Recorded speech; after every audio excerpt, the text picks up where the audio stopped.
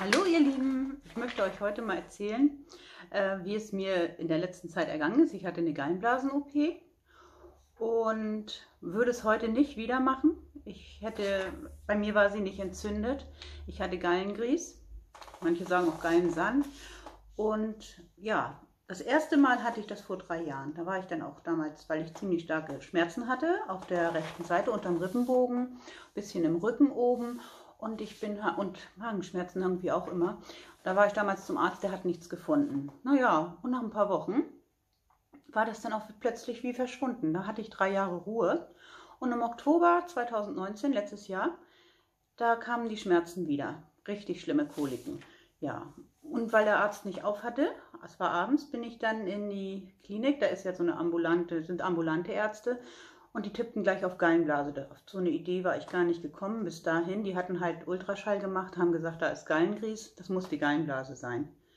Ja, dann habe ich mehrere Termine gekriegt äh, zur Untersuchung. Ich sollte noch eine Magenspiegelung machen zur Sicherheit, eine Darmspiegelung. Und als alles so durch war, hatte ich die Schmerzen schon gar nicht mehr.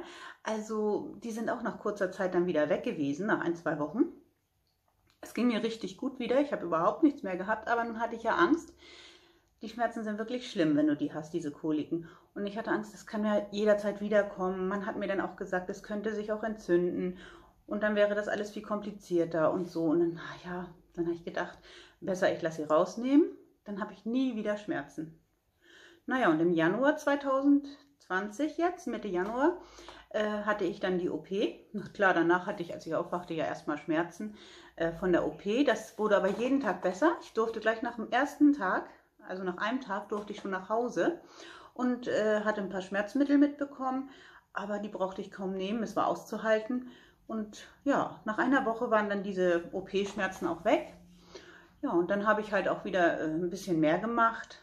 So, und plötzlich nach zwei Wochen hatte ich wieder Schmerzen und auch ziemlich heftig und genauso wie bei der OP halt hinten Schmerz, wo, mal, wo halt die OP auch war, an der Seite.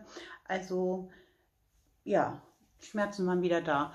Ja, und dann habe ich gedacht, vielleicht habe ich mich überanstrengt oder so. Habe mir dann, habe versucht ein bisschen das ruhiger anzugehen, nichts zu tragen und so.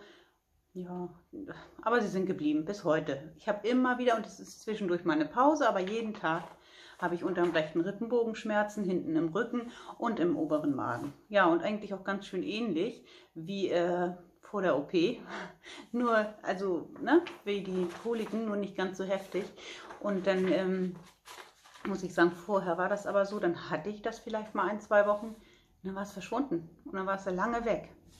Und vielleicht wäre es ja auch nie wiedergekommen, denn nach der OP hat mir die Ärztin noch gesagt, ja, da war nur ganz wenig Gallengrieß drin. Ich weiß nicht, ob das äh, die Schmerzen ausgelöst hat. Müssen wir jetzt sehen, wie sich das weiterentwickelt. Ja, und dann war ich natürlich schon so, oh Gott, so eine OP machen und dann ohne Grund eigentlich. Das will ja keiner und dann habe ich mich ein bisschen geärgert, aber ich habe mich jetzt damit abgefunden. Das ist jetzt knapp drei Monate her, weil man kann es ja nicht mehr ändern. Ich kann es ja jetzt nicht mehr rückgängig machen. Nochmal würde ich die OP nicht machen, wollte ich euch nur mal sagen ja, ich habe mich halt im Internet auch ein bisschen so belesen darüber, wodurch, wodurch kommt sowas. Das kann schon sein durch Diäten. Ich habe ja immer schon viele Diäten ausprobiert, wisst ihr, ja, habe ich ja schon in meinem ersten Video auch erzählt. Ähm, ja, wie gesagt, wahrscheinlich, weil ich halt sehr, sehr auf Fett verzichte, so wenig Fett wie möglich. Und dann können sich, kann sich Gallengrieß bilden. Allerdings kann der Gallengrieß auch von ganz alleine wieder verschwinden. Ja, was soll ich machen? Habe ich ja die OP gemacht. Ich hoffe, die Schmerzen werden mit der Zeit auch weggehen. Ich kann mir nicht vorstellen, dass das für immer bleibt. Das wäre ja echt ätzend. Das nervt schon sehr. Sie sind auszuhalten, aber nervig und manchmal stärker. Und manchmal halt nur so ein bisschen so, ja, du spürst das halt, aber kannst das auch aushalten. Also so schlimm sind sie nicht wie die Gallenkoliken. Trotzdem muss ich sagen, nochmal würde ich die OP nicht machen es hätte ja sein können, dass es auch ganz verschwindet. Es war ja kaum noch was drin. Ja, das habe ich ein bisschen bereut. Also, wenn ihr keine Gallenblasenentzündung habt und es nur Gallenkries ist und die Ärzte euch nicht sagen, es muss unbedingt gemacht werden, macht es lieber noch nicht. Ähm, vielleicht kommt es ja auch nie wieder. Ne? Ja, das war ein Fehler, das wollte ich euch mal erzählen und dass sowas halt durch Diäten ähm, vorkommen kann, dass sich da Gallengrieß bildet. Ne? So. Okay. Bis dann. Tschüss.